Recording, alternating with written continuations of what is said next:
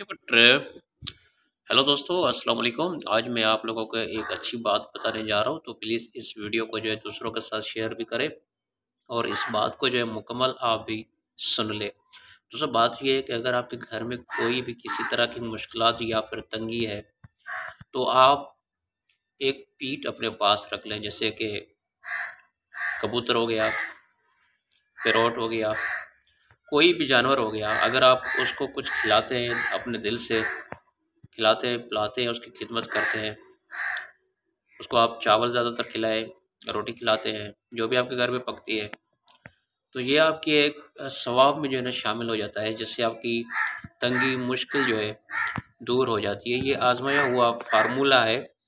अगर आप पेरोट या कबूतर नहीं ला सकते तो आप घर की छत के ऊपर पानी रख दें, चावल रख दें जैसे और कोई परिंदा आता है, जैसे हमारे यहाँ पे घर पे हम पेरोड को खिलाते पिलाते, कबूतरों को खिलाते हैं तो यहाँ पर और भी जो परिंदे चिड़िया और कौवे, इतने परिंदे हमारे घर में आके बैठे होते हैं।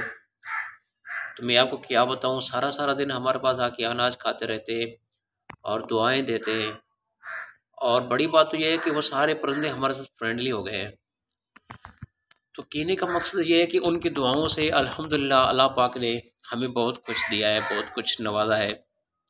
तो अगर आपके पास कोई भी किसी तरह की मुश्किल है तो आप ये जो है करके देख लें। इन जैसे जैसे आप करते जाएँगे, आपको बहुत ही अच्छा रिज़ल्ट मिलता जाएगा, आपको दिली सुकून भी होगा।